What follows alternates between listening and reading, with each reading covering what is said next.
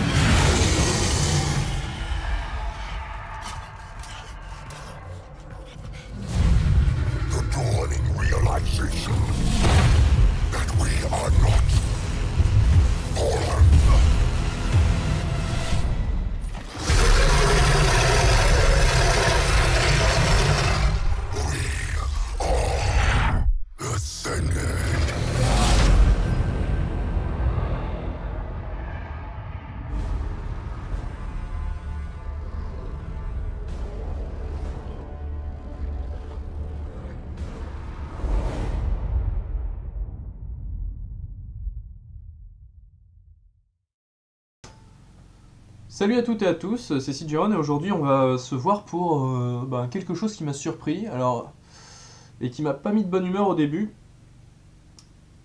Mais maintenant je suis un petit peu mitigé. Total War Warhammer a donc ajouté en DLC de précommande les guerriers du chaos. Ce qui est un petit peu effectivement pour les gens qui ont fait quelques recherches et qui sont encore néophytes, euh, moi je suis pas non plus le plus grand connaisseur, mais comme j'ai joué et comme j'ai lu des trucs, je, sais, à peu près comment ça se passe. Donc ça n'a pas réjoui tout le monde évidemment, et même les fans euh, de, Warhammer qui ont lu KO et qui ne s'attachent pas au mot guerrier du, enfin au tout premier mot de, ce, DLC, euh, bah, ont bondi de leur recherche, ont dit mais comment vous pouvez foutre et je suis d'accord avec eux, hein, si c'est vraiment le chaos total, si c'est vraiment toute la faction du chaos, avec ses pléthores de, démons, etc. Comment vous pouvez foutre les contes vampires et, nous mettre le chaos en DLC Enfin, faites l'inverse. Ou alors euh, les nains, je sais pas, parce que les nains, bon, voilà quoi, euh, qui s'en bat les steaks?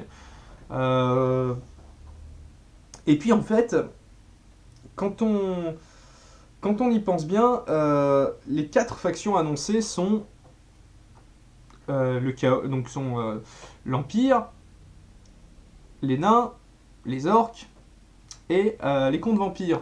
Et on nous a fourni la carte. Et honnêtement, quand vous regardez la carte, euh, je vous invite, enfin, je vais, je vais la mettre dans la vidéo hein, pour que vous voyez, que, que vous voyez le truc. Mais euh, donc, il y a des territoires qui appartiennent littéralement à carrément que aux nains. Il y a des territoires, donc qui sont principalement les montagnes. hein. Euh, même si euh, vous y attardez pas trop, euh, mais il y aura et il y a également des endroits qui appartiennent très certainement à, enfin aux orques, qui sont qui sont aux orques, aux mains des orques, des peaux vertes. Je reviendrai là-dessus plus tard. Ensuite, vous avez tout ce qui est Sylvania, donc tout ce qui est Sylvanie, qui appartient au conte vampire. Et on a euh, bien évidemment l'Empire qui a tout ce qui est Vastland, Middenland, Reikland, Stierland, Averland, Ostland, Ostermark, etc., etc., etc.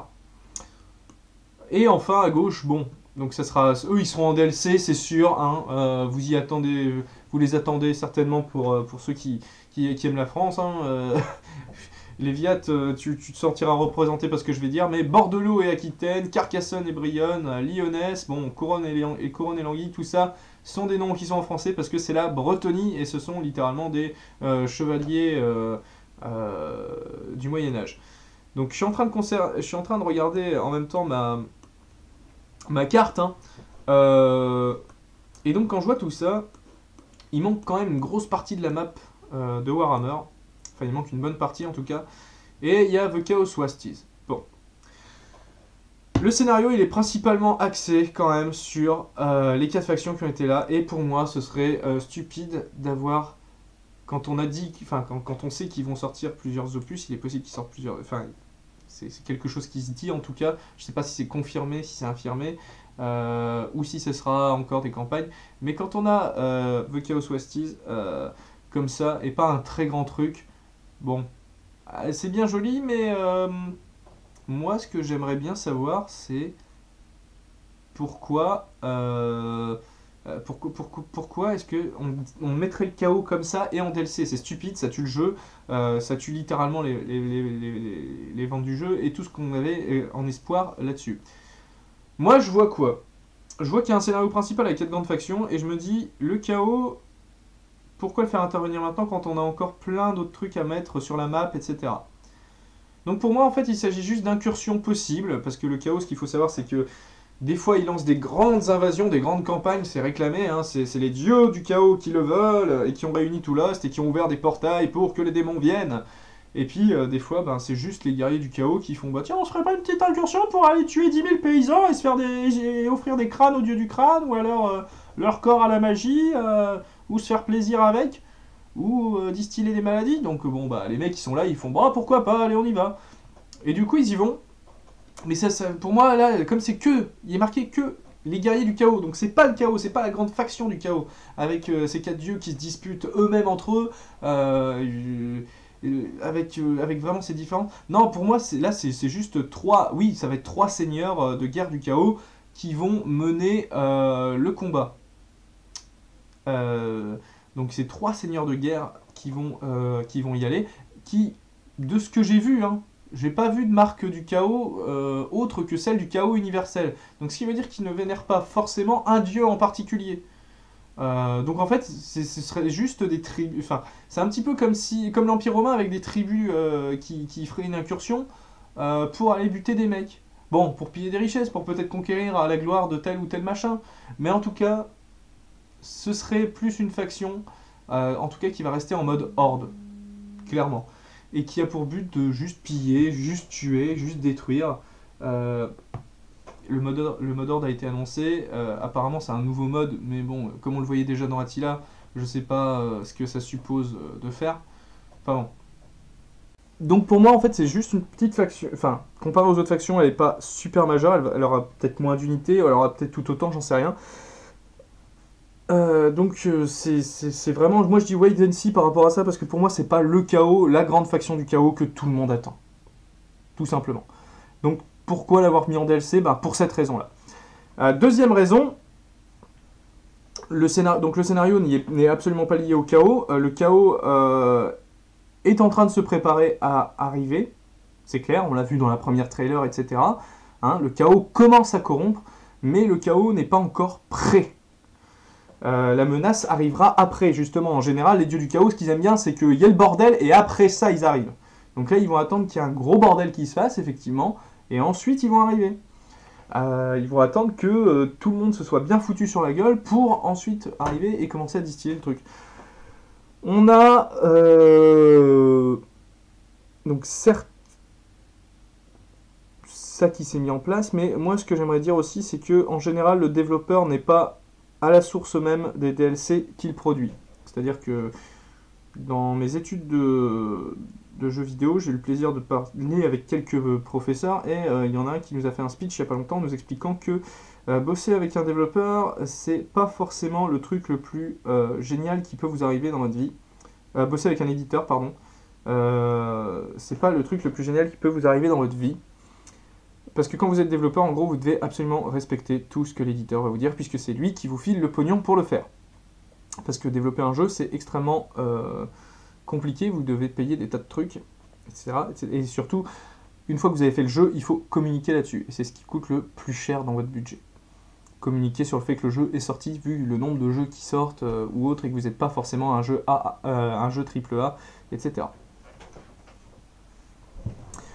Euh, donc pour moi, euh, pas forcément Sega, même si euh, les DLC à gogo, bon bah voilà, hein, c'est tout, tout le monde commence à s'y mettre, aussi bien Ubisoft qui s'est dit lui-même que EA Games avec, avec les, jeux, les, jeux qu'il a. hein. Moi ça me fait marrer quand tu vois que Battlefront, il va y avoir quatre trucs. D'ailleurs en tant que fan de Star Wars, Battlefront, je le prendrais pas finalement. Parce que très déçu par rapport à ce qu'il y avait dans Battlefront 2. Euh, et Donc ça c'est pour la petite aparté et les comparatifs. Euh, pour moi, celui qui tape le plus fort et qui doit vraiment être à, à l'origine de ce genre de décision, euh, si, jamais ça venait à être le chaos, euh, la, la, grande faction du chaos, hein, si jamais c'était ça, Game Workshop. Je les porte pas dans mon cœur, pour la bonne et simple raison que j'ai vu les prix augmenter peu à peu en tant que joueur. C'est ça qui m'a même dégoûté au final. Enfin, je me suis dit non, mais c'est bon, faut arrêter au bout d'un moment, ça coûte, vraiment trop une blinde. Euh, j'ai autre chose à foutre, euh, enfin, faut, mettre le fric ailleurs. Et donc, euh, bah, finalement, j'ai arrêté parce qu'à partir du moment où quand vous devez payer 35 et 40 euros pour une boîte de 20 bons hommes, bah, il y, a un moment, faut arrêter les frais. Et encore, ça c'est que pour les, les, visiteurs normaux, quoi. 40 euros, j'exagère peut-être, mais en tout cas 35, je pense pas. surtout qu'en plus, là, ils ont fini de faire leur blé avec Warhammer. Donc les jeux Warhammer, évidemment, vont arriver comme des petits pains, hein, faut le savoir. Euh, apparemment, euh, Warhammer en figurine, c'est terminé, c'est remplacé par Age of Sigmar. Euh, donc, d'ailleurs, j'ai entendu le scénario, je trouvais ça what the fuck. Mais bon, c'est pas, le souci, on s'en fout. ce qui est important, c'est de se dire que, que à l'origine d'une telle décision, il peut très bien avoir Game Workshop parce que honnêtement maintenant ils savent que le blé ils vont se le faire sur les jeux vidéo, ça ils ont aucun souci avec. Il n'y a qu'à voir la quantité de jeux avec l'univers de Warhammer qui vont sortir ces, ces, prochaines années, je pense que ça va être plutôt colossal. D'ailleurs Warhammer 40 000 ça m'étonnerait pas qu'il se fasse euh, reboot aussi ou qu'il y ait un changement euh, sous peu parce que là euh, ça commence aussi à pas mal se multiplier, il y a un peu tout le monde qui fait son blé dessus. non pas que ce soit mauvais, hein, en soi les jeux sont bons. Euh, tu joues aussi, enfin tu, joues à Armageddon, tu joues à, à Régicide, euh, ou tu joues à, celui qui sortira, la Battlefield Gothic Armada, qui a, l'air vraiment pas mal. Euh, voilà quoi, je pense que tu prends ton pied. Par contre, le nombre de jeux de la licence Game Workshop qui arrive, voilà quoi. Ça déjà, plus aller voir en magasin combien ça coûte les boîtes, etc. Ça, ça se voit, c'est pareil hein, au niveau des bouquins qui traitaient, euh, de plus en plus petits, enfin les magazines, etc., de plus en plus petits, euh, mais euh, toujours aussi cher, voire plus cher. ça aussi, ça on me l'a rapporté par rapport au White Dwarf, etc. Enfin au White Dwarf. Donc voilà, donc deux facteurs qui,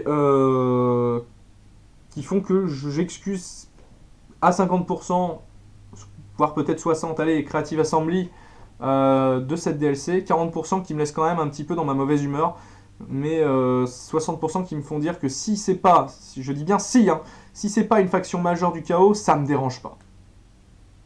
Si c'est pas une faction majeure du chaos, si c'est pas la grande faction du chaos, si c'est juste des, des, hordes de machins qui viennent euh, dire bon bah écoutez on vient piller et brûler parce que de toute façon c'est notre passe-temps, on a que ça à foutre, et puis on, éventuellement on dit que c'est au nom de machin, euh, ouais non bah ça passe. Ça passe parce que c'est pas les démons, c'est pas les cultistes, c'est pas les sorciers qui arrivent et qui lâchent euh, des trucs de malade. Euh, bon, il y en aura des sorts, hein, faut, pas, faut, faut, s'en douter. Donc c'est juste une faction qui est là pour foutre le bordel. Et je, enfin pour, pour moi, à mon sens, hein, quand je vois leur descriptif, quand je vois comment ils arrivent effectivement comme un cheveu sur la soupe sur ce scénario qui est déjà euh, fort, enfin qui, est déjà monté en soi, et eh ben moi j'ai aucun souci, enfin j'aurais pas de souci à avoir une faction de ce genre mineure, évidemment. Euh, plus, du moins plus petite que, ces factions nains, empire, etc. Euh, j'ai aucun, mal à les voir arriver euh, pour dire bah écoutez, on rajoute cette, petite, cette notion de bordel. Petite notion de bordel qui d'ailleurs a été rajoutée par rapport à. dans Attila, vous avez les Tanoukides. Les Tanoukides, c'était une nouvelle faction. Et eh ben honnêtement, ça fout un gros bordel et ça change tout en termes de géopolitique entre l'Empire romain d'Orient et les Sassanides. Faut le savoir. donc, pour le coup, pas de souci euh, par rapport à ça, pour moi. Euh, maintenant, j'aimerais dire une dernière chose pour ceux qui disent ouais, euh, c'est dommage que l'empire, etc., soit pas, soit pas divisé. Bah, dans Attila, vous avez à chaque fois le truc, vous savez, vous avez la grande famille de factions. Je veux dire, par exemple, dans les empires des sables, vous avez quatre trucs différents. Euh, si vous allez du côté euh, de l'Empire romain, vous avez quand même, il est quand même séparé en deux parties. Le système de seigneurs euh, qu'on a vu arriver avec les guerriers du chaos, qui sait, peut-être que ça ben, peut-être qu'il y aura cette séparation là aussi. peut-être qu'il y a Karl Franz effectivement en grand, en grand empereur et que, et que vous pouvez tout contrôler. Ou alors peut-être que, euh, parce que ça, vous avez l'Empire Sassanide, bah, vous avez aussi euh, des factions qui lui sont affiliées, etc. Euh, Enfin, vous avez des factions qui sont euh, État client en général, on l'a vu dans Rome 2 comme dans Attila. Bah, ça tombe, vous pourrez jouer, jouer l'Os- l'Ostermark. ou alors Ostland, ou Middenland, ou Reichland, séparément. Euh, c'est pareil, moi je vois bien euh, s'il y a une DLC euh, que tu es. alors je sais plus si c'est des. Enfin, je sais plus qui est duc ou comte ou machin. hein. Peut-être le duc de Lyonès, le baron de Carcassonne et Brioni, et le, le, duc de Bordelot et Aquitaine, qui eux seront, les, les, chefs et ils, auront chacun leur duché, leur comté, leur, leur baronnie à mener euh, dans le combat. C'est pareil, les nains, peut-être qu'il y a le roi, mais que tu auras euh, les, différents, euh, les, différents clans nains ou quoi, j'en sais rien. Et enfin, du côté des. On a, ils disent peau verte et pas orc. Pourquoi? Bah Parce qu'il y a les orques, il y a les gobelins de la nuit.